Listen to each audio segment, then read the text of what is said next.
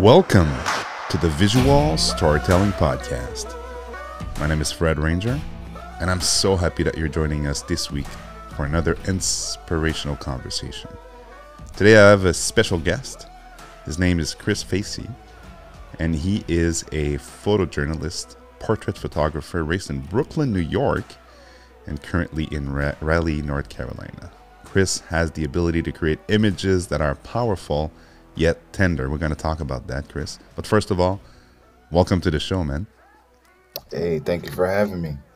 You know what? We've been chatting uh, online. We've been also invited to the same podcast uh, and so on and so forth. But it's the first time we're having a one on one conversation. So I'm excited because I've been following your work and I think it's probably one of the most, you know, some of the most powerful images I've seen in a long time. And but I, before we, we dive in into the, the work and everything, uh, can you walk our listeners through how, how you actually discovered photography and how did you you know actually fell in love with it? Wow. Um, well, I fell in love with photography during my time uh, in the United States Army. Um, I needed. I'd always been a creative individual, but I needed another like outlet. And trying to do music in the military wasn't going to happen for me. Um, I wasn't really inspired to write my poetry the way I used to. Um, I just needed something that I can do that wouldn't really get in the way of essentially being an active duty soldier. Um, and it happened to be photography. Um, I came home on leave and I saw my best friend, who I consider my brother. He was telling me how much money he paid somebody to take photos of a shirt he was designing. And me being so like naive and arrogant to the craft. I was just like, what? You paid how much? Why would you do that, bro? I could have did it with my phone and this is crazy. like, you know, I was I was one of them. And he was like, all right, bet. Well, you do it next time so that we could save money. Gave me an old camera. Um, it happened to be one of Fujifilm's first digital cameras, like one of their original first digital cameras. Like, like before X series and stuff. Yeah. Like, like it was it wasn't it. and uh, I took it back with me to Fort Drum and I'm practicing with it. I'm taking pictures of all these different things. And I'm like, why does it not look like these that I'm seeing on the internet? What is this blurry background stuff? And what is this? Like, this camera doesn't do any of this. And the more I learned about it, I started learning about interchangeable lenses and, uh, you know, nifty 50s and different apertures. And the more I learned about it, the more in love with it I was falling. So I tried to ask some other soldiers if they had a camera that they were they were no longer using that I can get. Long story less long, they didn't. So I applied for a military credit card, and I was extremely nervous because me and credit don't mix. I hate things with like credit cards and stuff like that, but I got approved, and I think it was meant to happen because I got approved for exactly the exact amount for the camera. It was like a Canon one of the T series. It wasn't one of like the eyes. Rebel something. Yeah. Yeah, it was that, an SD card, a camera bag, and a 50 mil lens. That's all you need, was, man. That's all you need. Enough for that. And I was so excited, and I was like, "Well, I have to pay this off somehow." So I started doing. I, I started. I still thought that photography was just, all right, maybe it's just nice pictures of people and things. Let me just try that to pay this off. So I'm doing portrait sessions and things of that nature to pay it off, and I pay the camera off. I'm still not satisfied, but I'm carrying the camera with me everywhere. I ended up Googling black photographers, and that was the end of that. My mind went. Nice. I'm seeing Gordon Parks and Carrie Mae Weems and Roy DeCarava and things like that. And it's it started I started going down this rabbit hole um, and started seeing like I can do something like that with this. Like whatever this has me feeling, I want to do that. How do I do that? And I just kept trying to get more information about it. And I just kept a camera on me. And I ended up being known as the soldier walking around with the camera. Like, hey, can you come shoot this? Can you come shoot that? Like this. And it just I just stuck with it. Then then the time came where it was time to get out of the military and it was either uh, go to school to be a dental hygienist or go to school to try to, you know, be a photographer. I think the well, choice is obvious, but you know, your, you know, your mileage may vary.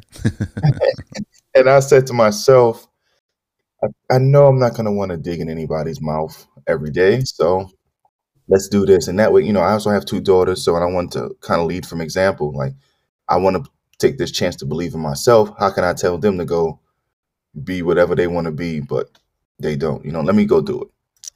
So I did that, and I didn't go to school for photography to learn how to do photography. I'll say that I went to learn how to navigate that world.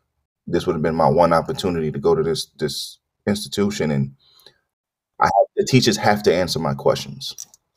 You know, you can't leave me on red at school. and from there, it's just my camera just been by my side ever since.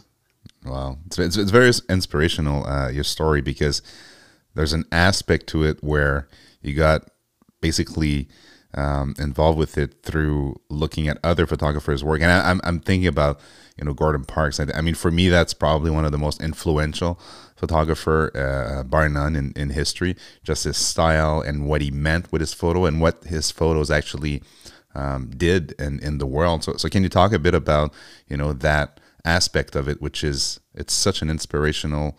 Uh, uh, um, ecosystem that we're in that we feed off each other's you know talent and creativity. But for you there's an extra layer and and you did mention you google black photographers. So so can you talk a bit about that? Because i think there's a lot of people out there that they don't know where to start. They don't know how to get inspired. They they, they, they know that there's cameras out there. They're expensive but how do mm-hmm. they start you know? Well i know for me uh every time i was typing in how to like use my camera or any type of photography related thing i didn't see anybody that looked like me essentially um I seen one or two. I think I seen something on Eli Reed, but I didn't know who Eli Reed was still. But I did watch that video on YouTube. And once I seen, once I typed in specifically black photographers, seeing people that not only looked like me but came from the same or similar environments as me, being held to these high standards for creating photographs that are like I didn't even know you can do that. Like nobody put a camera in my hand as a kid and said you can be a photographer. Like they never said that. But I was more more drawn to that feeling. It hit me and I was like, okay, I want whatever that is, I want to do that. It wasn't the portraiture cuz it wasn't none of that. It was just whatever that was, whatever this photo is. How did he I think it, what image I saw? I think I saw the image that Gordon Parks made of the Fontenelle's family at the welfare yeah. office, I think it was. Wow. and I saw that. I was like, yo, what is what is that? Like, how do I what is this photo is sad, but it it makes me feel a certain way. Um, and then I just started trying to like whatever is candid. So that means I have to just catch what it is. And I started diving more into that, and then I got shown um, uh, Eugene uh, W. Eugene Smith's work, and I was like, yo, so this is this is really a thing. Like this is really a genre. And I'm looking at it and I'm not trying to copy um what was made. And as you know, being a, a you know creative yourself, there's nothing new under the sun. Yeah. Yes, it's just who has it now. And I was like, I want to do that. And I want to do that with my for my friends and my family. I don't know, I don't know what constitutes as good or bad, but I just want to make something that feels good, you know, or feels similar to what I felt when I seen those images. So if there was any like type of advice to that, just peruse any all any and all of the genres of photography and see which ones mostly like resonate with you. And if you don't know, we are in the wonderful age of information where you can just type in Google different genres of photography yeah. and see what comes up. Might be a bit overwhelming when you when you do a first research, but uh, again, there, there, this is why there's people like like yourself, like myself, who are happy to share, you know, what we've learned, our mistakes, some of the successes we have, we had, and uh, and and the learning process. Speaking of successes, so you went from you know being in the military, having a you know huge interest in photography, to being published in the New Yorker, the New York Magazine, the Cut, New York Times. So holy oh, crap! So how how are were you pinching yourself sometimes waking up in the morning? Like how how did that happen? I know it's hard work. You did put the work in, but you know it's still a, a very impressive growth uh, on on on your side. It, it it is it is. Um, I think when when that happened, most of that occurred um in in 2020. You know, now that's up for debate if they just wanted somebody who was black to give their insight on Black Lives Matter or whatever the case may be. But I didn't I didn't go out to make work during that time with any intention of the work being published anywhere, being sold anywhere, or anything like that. Um, I just felt that I needed to be outside. Um, how else can I contribute? I contribute with my camera, so I just went out. I made sure I went to all the events, and I was a protester first before a photographer in these events because it affects me. It affects my family. It affects my brothers, my sisters, my nieces, my nephew. You know what I mean? And I was out doing that. And then a teacher, while I was, I was still a student, mind you, at, at SVA, uh, a teacher of mine, um, Ann Weathersby, special shout out to her. She said, Hey, yo, this is a really good work. Like, do you mind if I just like send this to somebody, like to look at? Sure, whatever. Um, back to another day of shooting for me. And that lady, uh, that lady hit me up and was like, "Hey, I just saw your work and I love what you have, and we would like to publish you in this, this, and you know, can you uh, can you hop on a call real quick?" And took a call, and then one led to another, which led to another, which led to another, and it ultimately led to me being able to photograph all the things that I was interested in, and somebody else took an interest in the things that I had an interest in, and that's what made it interesting. Nice, nice. So the the power of connection, right? So somebody, you know, that saw your work and connected you to another person. So that, that again, that's very powerful. And for that, you need to, to your point, to get out to shoot not necessarily with the intention of making money out of it or but just to mm-hmm. express yourself and there will be somebody out there who will look at the work and connect with it we're 8 billion people on this planet. actually we're more than that so it's there, there's there must be somewhere somehow uh, a, a person that will connect with the work and that's something that's not very popular right now on social media you know social media tends to all go a certain way and, and, and tells you that if you want to be successful, you need this amount of likes or you need to shoot a certain way. You need a nice silhouette and whatever whatever's trending on on, on TikTok and, and Instagram. Whereas mm-hmm. I think if you put in, to your point, the work that is connecting with you, then you know this is more long term. This is more something that you will be able to benefit from on the long run and not just quick hits of likes on social media. I, am not against social media. We're on social media. We use it, you know, day mm-hmm. in and day out. But I think you have the right approach where, yes, you're posting your work, you're sharing your work, but you're also dedicating time to long term projects. So, yeah. So, so long term projects. Talk to me about the. I'm, I'm, I'm going through your portfolio and some of the some of the projects that you have. How do you go about starting a project? That's something that a lot of people struggle with. It's easier to take a nice image than to invest into a long term series. So, how do you approach a, a project like that? You gotta you gotta know what you care about. I think. Um, what are you interested in? Even very little or even a lot is people think they have to make work that ever that everybody else has to like, but you lose yourself in that process. Yeah. You're trying to please everybody. Like, what do you like? Take an interest in what you like, and you'd be surprised what um what can happen. So I just put my camera in front of anything that I want to learn, learn more about, or just thought was pretty interesting. Maybe it doesn't go far. Uh, maybe the project changes. Maybe it is. But I think it's more important now to find out what you care about and document it because I feel like photography is under attack with this AI stuff. So yes. good luck to those who are in the main portrait world and landscape world. You know, I feel like working on projects is what has you kind of adds more value to the work that you're creating because you kind of have to be there. It's it's very authentic in the genre in which most of us work in, especially like documentary photojournalism. It's it's important to be there. It's important to have that interaction with the with with, with these other people to to show the the human side of it all. And that also keeps me from shooting all randomly and willy nilly when I'm outside. Like, you know, I'm always focused on a one of the many projects I'm shooting for, you know, so that way I, my eyes open to something instead of just saying, oh, that looks cool. That's a cute little thing. Like, yeah, you can still take it, but I try to shoot for my projects. Yeah, man. There's one that really connects with me, and you'll understand why. Uh, that daddy duty project, right? So, I mean, this is, I have two daughters, and uh, I actually see myself in some of the scenes that you're capturing, and uh, that's very, very touching. So, how, how the idea came about to, uh, you know, document that very important function, which is being a dad to, to kids? I mean, I didn't really take a look at it until I seen this ad, maybe late 2018. Uh, it was a holiday ad from Macy's, I believe, and they were under fire for that.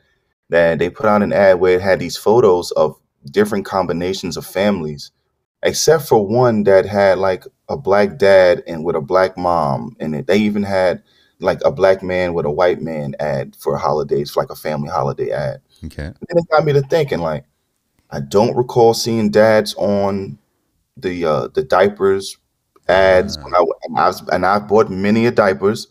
Um, I don't see the dads on the ads for parenting, like Yeah. or in cover of parenting magazines. Um, and it just started hitting me a little weird. Like that's I'm a dad, my brother's a dad, my dad's a dad. Like Yep. and they're all black fathers. And I've seen this. I have friends who are becoming dads.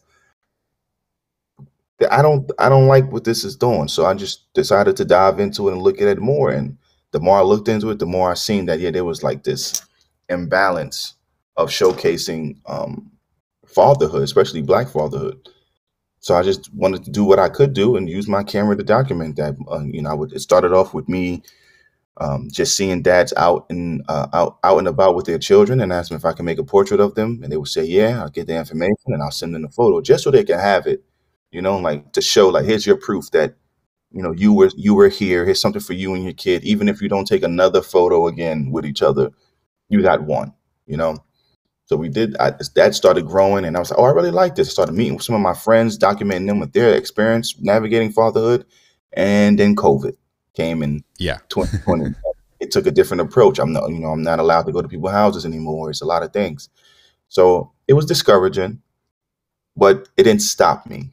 Um, I just made sure that I still photographed the dads outside from a distance. Like I would get that or catch interactions of dads taking care of their kids. And I, and you know, being a, a dad yourself, you kind of get foresight into what's about to happen with a dad and a kid when they're out. So you kind of, it's like, it's like a cheat code, if you will. But when you're photographing children as a man, it gets kind of gets tricky. So with me being a dad and understanding it and another father seeing that I'm a father, it's like, oh, okay, like we'll have a conversation real quick about it. And then he's like, I like that, you know? And what makes me realize I'm on the right path with that is I've met so many fathers who have like some have cried, shared these experiences with me about like, yo, this is really important that nobody thinks about us as this, you know, we we feel like second class citizens and to a certain extent I relate.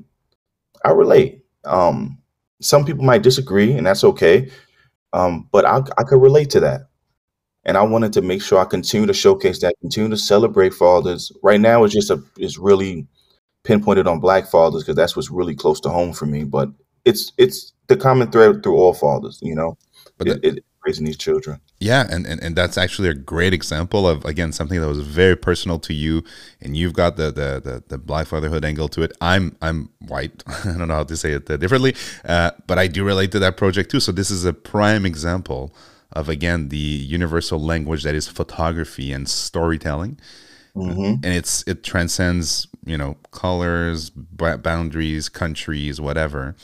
If you're drawn to an image, you're drawn to an image. Doesn't doesn't matter, you know, the the the, the actual angle to it. It's nice to understand what was the creative process and why the photographer or the artist decided to go that route. But again, if you connect with an image, that's what's so beautiful about it. And I'm so fascinated, and I, I guess you are too. You're a bit like me.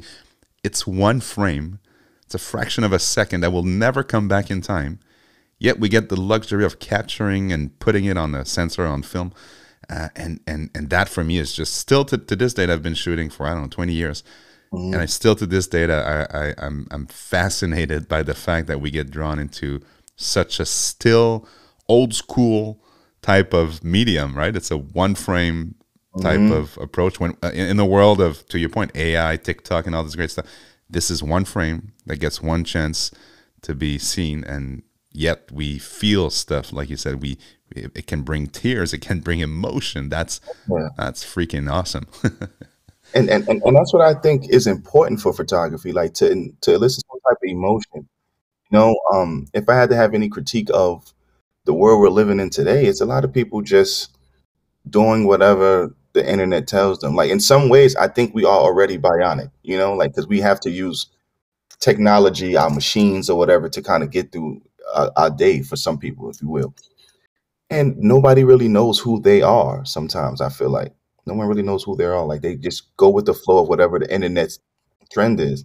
So I think us making the work that we're making reminds people that yeah you are human you feel this because although you're not a black father you're still a father you felt that and uh, uh, last month i had a woman a white woman who's a mother tell me that that work that she's seen is amazing she feels it's amazing and that it reminded her of her relationship with her dad although it wasn't the greatest she learned to super appreciate the relationship that her children's father have with the kids you know and it was like that's that's interesting that's not something i thought about when making this work. I didn't think because people were trying to make it seem as if it was like a mom versus dad debate, and you're never going to have that debate with me about mom versus dad with this work because this has nothing to do with moms. This is just the highlight on dads. Now you take it how you want to take it, you can, but I just want Dash to feel seen, feel good, like just a little, you know, thank you for seeing me. Because how often do you get that? You know, we yeah. get it from the, we get it from our children every now and then in the way that they but you know, if we had to compare it to Mother's Day, yep, I you uh, know completely, completely agree. Completely agree. We we could use a bit of a you know uh, push. Um, so, and, and, uh, this is so true. I, I also released, uh, and this is kind of new to me. I'm, I'm newer to like long term series and so on and so forth. It was always in the back of my mind, but I decided to, you know, jump in and and stop the madness of just feeding algorithms. Mm-hmm. And I started a, and it's funny you say human. It's more human because my project's called Humans After All, and um, it actually focuses on the visual po- poetry that we see day in and day out on in this one frame. But it's very organic. It's very like untouched scenes, or to your point, candid moments that you're not influencing, but you, you capture. And then when you put the body of work together, it starts to make sense. So for me, again, I'm, I'm fascinated about long term projects, and you've been doing a, a, a lot of very interesting long term projects. What is the what is the place of storytelling in in what you do? Because I understand that you like to you know create a body of work that's consistent. Your use of black and white is also a, a way for you to be consistent. But how how do you tell that story through the frames that you decide to assemble together? I again, it comes back to knowing myself. I learned so much about myself in this work, working as a photographer that I have to be honest with myself in these in these moments. So even if I'm in a place where I can make photo uh, make an image that works with a project that I'm doing, how do I got to take that inv- that self inventory? How do I feel right now?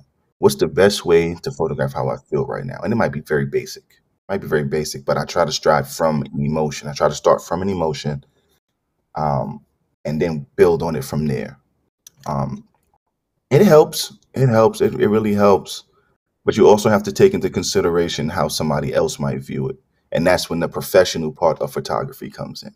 You know, you got to know the angles and the composition and this and that. And how is it going to read? If I can look at an image and I say, this is an image about such and such, but the viewer doesn't see such and such, it didn't come off right. Then you've missed the point. Yeah.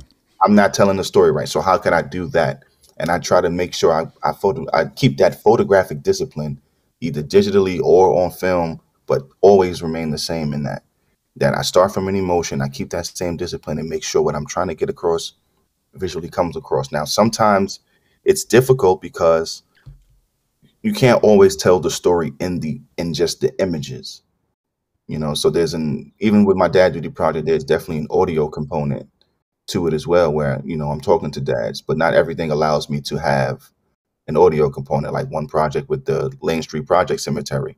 I really just want you to see the cemetery. I really just want you to see how it's left in desecration. I want you to see what they're doing to people that have passed.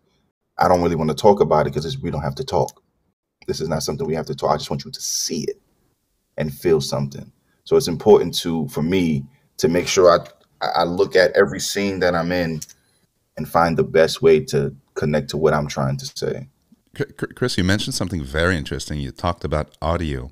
I'm an audiophile. I'm a musician, and I love sound. I mean, just look look at this microphone that I'm talking through. uh, but but at the end of the day, we don't see a lot. I mean, I know there are multimedia, let's call it this way, projects out there, but talk to me about about audio. Like, how do you how do you create or how do you use audio to enhance the story, and how do you go about it? Like, literally, technically, how do you share the work uh, with images and and audio? Um, well, it, I try to interview anybody like that I find interesting, and this is back into the Dad Duty project.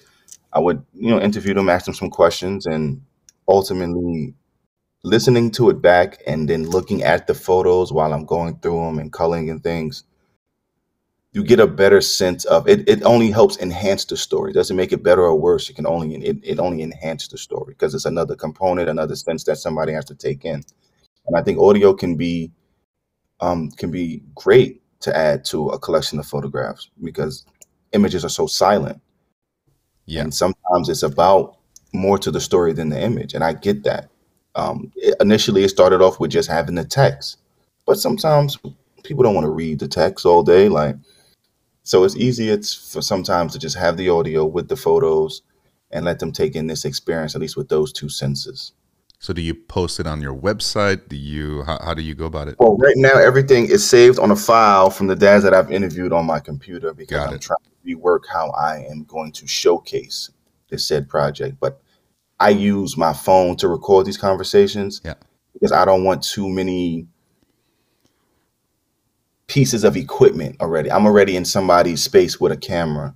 Yeah. You know, I don't want them to think there's another piece. Like, oh, here's a here's another camera recording video. another record. This here's a Zoom recorder for that. Like, I don't want to. I want it to be as very small, a small footprint as possible. And I so I just use my phone. I put it down on the table or something, and in a few seconds, after a couple questions, they forget the phone is even there, and we're just having a whole conversation. Um, and it works. Yeah, it works. Some not all the time phones are more than enough that you you know to, to capture audio notes. Did you know? I mean, I, I know you shoot Fujifilm uh, and other brands, but Fujifilm uh, mainly. I, I didn't know that, but lately I found out that there are there is a note audio note feature on some of those X series cameras. I think the X Pros and the XTs. What? Uh, yeah, maybe we should talk about that after the show, and or maybe put a link down below to some tech YouTubers that are talking about that. But uh, yeah, it's it's maybe you could ditch the phone and use the camera to do the audio note. Um, That's yeah. That, we'll talk about that for sure. We'll talk like about that. that. We'll talk about that. Um, so so so Chris, talk to me about um, the importance of documenting your own neighborhood. I know you're you're, you're present in your in your neighborhood. You were born in New York, now in Raleigh, North Carolina. Some people are, are, think they need to travel to start photography to, to capture interesting stories. Um, what, what's your view on that? You don't you don't have to travel, although it seems nice and on paper it looks like a beautiful a beautiful theory. But each person, every new person that you meet is an is an opportunity to travel, either in time or even in even to the future. You, when you talk to people about their goals or the things they've come from, each person is an individual trip. So you can do that, like find, and you'll just find people. Without my camera, I don't want to talk to anybody. I'm just gonna be honest with you. but when I have my camera, it's like uh, an opportunity to like take this adventure, speak to these people, um, and then also give them a, a, a platform to stand on to say something that they might have wanted to say. Like maybe they got words of wisdom for somebody else that maybe I can't use it, but somebody else can. But let, let me at least give you the platform to do so. And it's just a good thing to do. Treat others the way you would like to be treated, you know, with respect. Have a conversation with me. Don't judge me. You know, don't come with no pre with your with, with your prejudice. Like just have us just sit down. And I'm usually drawn to, and I think this is a photographer's crutch sometimes too, but I think for for the right reasons, I'm drawn to individuals that are like unhoused, you know, because yeah. in my heart of hearts, I feel like we're all just one bad day away from that. And but it doesn't take from who they are as a person. I've met people that are unhoused that um, used to be accountants and they're really smart. Like mm-hmm. they're really good with numbers and they're really good with this, but they just had a bad day that just kept spiraling. Or some people end up spiraling and getting on drugs, and then it's like it causes a that's a whole nother world of problems, you know. But I like speaking with them because sometimes it it it, it anchors them back to reality sometimes, and also myself. Yep. You know, to, to Good reminder. Yeah. Yes, and you don't you don't have to go across the world to do that when you can go right outside You can go right next door. You can go right downtown. I love going to downtown areas and meeting people because that's like the hub of everybody. Yeah. You Yeah. never know what comes from that. So I'm always open to that. I love it. I think you said something very powerful. So meeting people is an opportunity to travel. I think that that reframes, you know, what traveling means and uh, being inspired by other human beings. I think that's that's something that uh, we we tend to forget, and we're bomb- bombarded by messages that tells you again uh, from the internet or TV, whatever, that you need to be a certain place to be happy or travel a certain destination to see new things but i think we've just uh, you've just demonstrated that this is entirely not true and there's ways to be creative and to you know be inspired by our own surroundings And I left and, and, and I left New York City and people looked at me like I was crazy. Like, yo, why would you leave New York City? Like this is the hub of opportunity for you. Like you could you could do this and this and this and this. It just wasn't it wasn't for me. I needed I needed something else. I didn't I didn't I felt like I was surviving New York and not living there. And I needed i think a lot of people can relate to surviving new york yeah, I, I needed I needed some some something to reset me um on all different levels, artistically, emotionally, mentally. I just needed to reset. And I knew and I knew New York City wasn't gonna give me that. And I didn't intentionally plan on moving to North Carolina. I had no idea. I just knew I needed to get out. Um and the final straw in the hat was my daughter. She was 11 years old at the time. Looked at me and was like, "Daddy, you're not happy here." mm, You know what I mean? yeah And if my kid can see it, that means it's it's it's real. Yeah. Like he has no reason to lie to me about that. And ultimately, too, as an artist, you look at it like, yo, it might be in the work too. You know, I had an opportunity to look back at some of the photographs I made during that time, and you can tell I felt very isolated, but at the same time, like stuck in a crowded place. I didn't have an escape from my thoughts and feelings, and I moved and I came down here and when I had to alter my thinking, I had to alter the way I, I make work, how I approach making work, all of these opportunities, more opportunities that I, I would have never probably gotten in New York City had had opened up to me here. Mm, Um, I met people here that felt more like family than some people that I've lived around my whole life. You know, it, it's it's it was like this weird transition, and it, was, it felt like it was exactly what I needed. But I didn't have to move to Europe to do it. I didn't have to move to a country in Africa to do it. I didn't have I don't have, I didn't have to take a trip somewhere to do it. I just went eight hours south. Yeah. And and so talk to me a bit about the again we, we, we keep hearing a lot of and no offense to them they, they live there they're they're happy uh, they take photos in New York and and in in London and so on. But talk to me about being in a, a different type of city. What are the types of uh, of stories that, that that unfolds? And what what what keeps you motivated to go out on those streets and, and document it day in and day out in North Out North here or- Carolina? Oh, in North Carolina? Yeah, it's um there's a lot of there's a lot of rich history here. Yeah. A lot of rich history here, especially black history here. You know, um a lot of the the the people, a lot of the black people that live up north, family originates from here, like down here in the Carolinas and other parts of the American South. And during the Great Exodus, when they made this move up there to, you know, for a better opportunity, you come back down here, this I have this feeling of belonging here. Like, you know, I feel like, all right, well, I go to New York, I'm working, but when I come here, I feel like I'm supposed to be here. And then in, in the process of learning this history, you start realizing that a lot of our history starts right here, you know?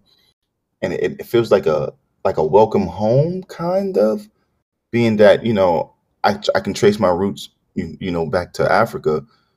It's just the the South, I feel, is the closest back to home I'm gonna get. And I feel that here. Like the the other people that I meet here, they welcome me with with with just love and her come into my home and let's let me feed you. Like let's talk about these things. Let's let's learn from each other. And it's it's been really good. In New York, that's not really happening for me. Maybe it's not a lot of space. or uh, some people are, are extremely secretive, or it's just somebody got so so many people got so many things going on. They're having a hard time finding that time to slow down to even appreciate somebody wanting to know their story. Yeah. You know, and and I'm not bad mouthing New York. I want New Yorkers to understand. I love New York. I'm gonna always love New York. My mindset, my hustle, my grind is from being raised in New York. I get it, but we we need an escape from that sometimes, and the South has provided that for me. I can I can totally relate when I I, I love going to New York. I'm, I'm actually a couple hours away in Montreal, and this is a city that uh, I love to go, love to document, love to shoot in. Um, but some of my friends are living there. They're like, dude, you don't you don't want to live here. No. I, I completely understand your point about surviving New York. Uh, it's it's hard. I mean, some people love it. Some people thrive on it. But um, I think you have to have a certain type of personality to be able to navigate to your point into a city like like New York. Hey, it is the most you know bustling city in the world. So it's there's advantages and then there's you know Yeah, always. yeah yeah Always, always advantages, but it's also it's also a lot. It's like um, I call it like a gladiator school type of thing for like anything you want to do in life. Like if you want to be a creative, if you want to be a business mogul or something, you have to spend a little bit of time in New York yeah to get to get some grit on you, get some scars a little bit, and that, you know that's why they say if you can make it in New York, you can make it anywhere, and I and I wholeheartedly believe that because anybody I know that has left New York, they're not hurting any and, and nowhere near hurting as if they how they were when they were in New York.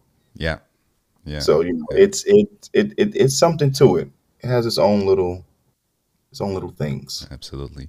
So some people on, on, some listeners like to know what the creators are using as tools. Again, this is not a gear show. I don't want this to turn into a gear conversation. But you and I've made a joke pre-show that uh, I saw you with 17 different cameras on you. But you're a man of uh, very various tools. So can, can you walk us through a bit of the tools you use to, to create those beautiful stories day in and day out?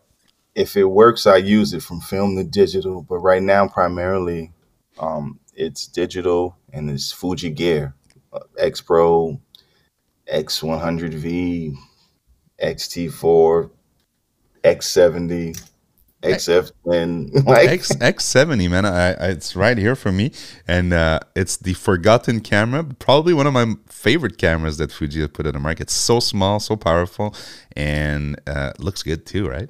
Yeah, it's a it's a sleeper, man. It's a sleeper camera. Like people are catching on now, so Yeah. that's why the price is going up for the X70. Um, same with the um with the X Pro twos Mhm. for whatever reason, and some re- and the X Pro ones too for some reason it are like They're Coming going back up in price. yeah. Yeah, Um, but I think what I like about it is that it keeps it's, it's they're quiet, they're light, um, it's not intrusive, and I think that helps aid me in getting some of those intimate moments. For example, in the Dad Duty Project, if my camera was, yeah, you know how easily somebody like the human eye will look at me like because they hear that and they want to, what's that noise? But it'd be so silent, and it's like it's, it's, I'm not interrupting yeah. anything. Some people say, "Yo, I didn't even know you, you took the photo." Like, I know. You mentioned you shoot film. Uh, do do you still shoot film today with these uh, crazy prices That's that we? why I took a break. That is why I took a break from shooting film because it, it costs. But I, I do bring it out every now and then as nice conversation starters for people. Um, if I'm in the mood to meet new people, I'll definitely take out um, I'll take out Mamiya C330. Oh, that's a great one.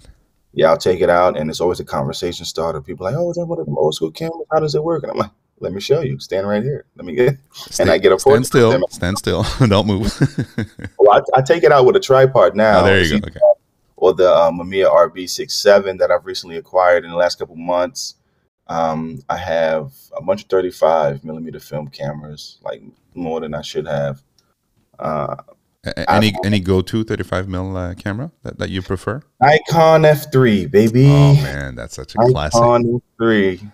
Uh, you know, Love I got friends who, who who want who talks about the F4 and then the F2, but the F3 for me, I like that. I, I think I've probably one of the m- most well built camera in the history of cameras.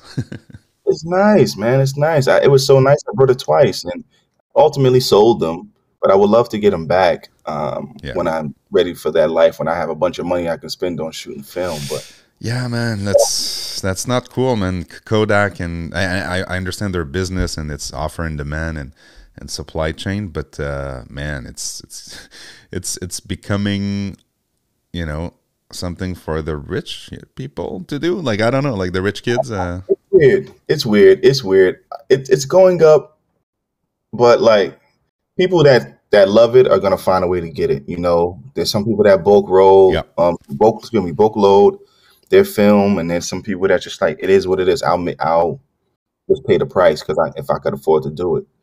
It's it's for me. I don't want something to stop me from being able to shoot. That's all. Yeah. And I don't want that price of that to be like, man, I can't shoot film today because it costs this much money to but for a roll or this. So the digital comes right in handy, and shooting Fuji allows me to customize the the colors and things the way that I want it to be. So Do you use the film sims um, in the in the? yeah, Yeah. I, I've played around with it more than enough times to get looks that I'm happy with because I don't really like spending too much time at the computer. Once they work out that clarity issue in the camera with that delay, that two second delay is killing them, man. It's uh, I, I gave so many emails, feedback emails to, to Fuji. I'm a Fuji shooter too, and Leica, but um, I I it's just guys, you're one bug away. I call it a bug because two seconds in this world is too long uh, to hmm reload. Well, not to reload, but to, to, to come back to life. yeah, to take another shot. It's just like it's Yeah. doing a little loading. I'm like, is it the card? I brought high speed cards thinking it was the card. It's not the card. But I mean, they, they've got a processor that could that actually is is more powerful than what was used to send people to the moon. So I'm sure they can figure out a way to process that data Oh, faster. And it's a clarity slider. Like it's not a it's not an HDR slider or something like that. It's just a clarity slider. Anyways, we we can uh, we're, we're going on a rant now about that. we love Fuji. We love you, Fuji camera, Fuji company. Um, so so uh, enough about gear. I, I want to go back to um, artistic choices. So you love black and white. Uh, a lot of your work is in black and white. Um, so why why do you love black and white? I guess that's my question. It's what I was introduced to mostly when I was going down this rabbit hole of black photographers and the work that moved me was pretty much all color, maybe 90% color until I seen some of Gordon Parks' more fashion work that was in color. But what I liked about black and white versus color is that black and white gets you straight to the point of the emotion of the image. Color can do the same, but it requires a more things to take into consideration. But when I'm making work, those moments be so spontaneous. That's what I'm focusing on, that moment. And you know, I don't I, I don't want to have to focus on the moment and then it, that moment is lost because there's a yellow sign in the back and a red car. And I don't want I don't want to I don't want your eye to take this whole journey through the frame before you get to the emotion. I want the emotion to hit you just like that. And then you're like, oh, okay, I see what this is. This is beautiful. That's why people, when I talk to people, they look at my work and they're like, yo, I love this. This this makes me feel like this, or this makes me remember a time like that. That's what I'm going for. Not to say color doesn't do it. I, I, I'm sure you've seen some of my work that's in color too, Yep, but yep. primarily black and white for me, especially when it's emotional. When it's color for me, it has to be about the color. It like it has to be about the color. It can't just be in color. A kid crying in color, like that's not. It's not it for me. It has to work. It Yeah. has to work. It's a beautiful song when you can get color images to like work. I agree. I agree, and it uh, rem- removes any distraction. And I, I, I was interested in also learning about the thought process. I, I see two projects, Pride and Be Careful, that are in color. Um, Mhm. On the opposite side, why, why did you decide? Uh, Pride, I can see, I can already see why you went color, but uh, maybe being careful. Uh, um, why, why did you decide to do color on that one? Um, because I wanted to show the diverse group of women that go through those issues. I didn't want it to be a straight, um, this is a black woman thing, this is a white woman thing, this is an Asian woman thing. Like I didn't that's not what it is. The the whole ultimate piece of it is women's safety. Um, and I didn't want that to be in black and white to distract you from what's going on. I mean, not to distract you, excuse me. I don't want I didn't want to put it in black and white for you to be like, oh, I don't even know if they're black or white. Let's just talk Oh, I about it. I want you to see the diverse people that's having the same issue. Yeah. It's enough that already separates us as people, but I wanted you to see that. Like it's not just a one woman type of thing. That's that's a very good reason. Uh, thank you for uh, for giving us the uh, the context, uh, Chris. What what- what would you like, you know, your body of work to have as an impact or legacy for the for the photography community? I think you you're investing enough time, effort, and you're so passionate about it. So I'm interested in uh, learning a little bit more about where do you see the work going and what would you like to be remembered for? I mean, you're super young, so it's a very early question, but what's that path that you're on? Um, selfishly, I would love to see it in museums, galleries, Nice. book, you know, but ultimately, what which I I would take and just be okay with is that I make a body of work that my daughters are proud of. Hmm. that when they become adults themselves, they can learn about their dad through the work. And any other questions they had that they felt that they didn't get to ask me, they can see in the work and see what I cared about and seeing how, even seeing how I loved them through the work. Just I want that to be able to speak for me um, when I'm when I'm gone, or even when I'm just old and I'm still here, and they don't, you know, they just living their lives that they can go back to the work and be like, this is a world that my dad has lived through. Here's how he navigated it, um, and I know he's working hard for us to have the opportunity. And then ultimately, whenever I become worm food, they are in charge of the work, and Yeah. they can do something with it. Either yeah, you want to sell it, sell it. If you want it to be inspirational to you, do that. But I want to give them a fighting chance, you know, with with the work that I'm making because I didn't. My family, we don't have that for me at this, in this at least in this generation. Like we we're build, we're trying to still build something, but I want them to become adults and then have something that they have a foundation that they can build on. That's very, uh, very legit and very inspiring. I think, uh, to your point, it changes everything when you when you have kids, right? So uh, it, it changes the the perspective on life, uh, on why you do things. You know, I, I like to start with why. I think it was Simon Sinek who was uh, who wrote a book about starting with why, and it, that this was very powerful for me because that's the best question to ask yourself. And again, when you have kids, it replaces everything uh, a bit differently than when you're a selfish, you know, 20 year old trying to make it, you know. Why, why is my favorite question? I even had it got it tattooed on my hand. Oh, so there you go. time I put my camera up, I see it right here, so that I remember like, why am I making this photo? Like, why is it necessary? Why do you care, and why should anybody else care? It's like these are the questions that that play every time I'm looking through this viewfinder trying to figure it out. And it, some people don't look at the why. It's just they're really having fun just making work, and there's nothing wrong with that. Which that. is fine, exactly. Yeah. There's nothing wrong with that. If you're a hobbyist, you know, like say you're a hobbyist, but when you start sliding into the world saying that you're, you know, you're an artist or you're an artist that works in this medium, you have to understand that the work is not about just you anymore. You have to understand how other people are going to view it. Do you You think do you think a a single photograph can change the world? It can, and it's been proven. Been. Look at the photographs of Emmett Till. Yeah. You know, I mean, it didn't change it so much so that police brutality and or racism has has has stopped, but it made more people aware to know that this exists and this is the extent things can go to if we don't get a hold on it. History will be doomed to repeat itself. So I think, yeah, it can, but I think if you really want to change the world, you're gonna need a series of images. You got to tell those stories on a deeper, deeper level, a more relatable level, because anybody can look at one image and come up with their own idea. But once you provide the context and you provide some some other stuff to help build on it, I think it could only help. It's not one's better than the other. I think it can just only help. And I think you're right because we are exposed to so many images more than ever, uh, as a matter of fact, moving images, uh, stills images, and I think the voice of the photographer is becoming more and more important because of the overload of information and images and, and AI generated stuff that we see. So I think to your point, if you start with why and you're clear on that, and then it trans you know translates into your work and how you present your work, I think we're onto something, you know, versus just taking nice images. To your point, nothing wrong with taking nice No. images of your girlfriend when you travel.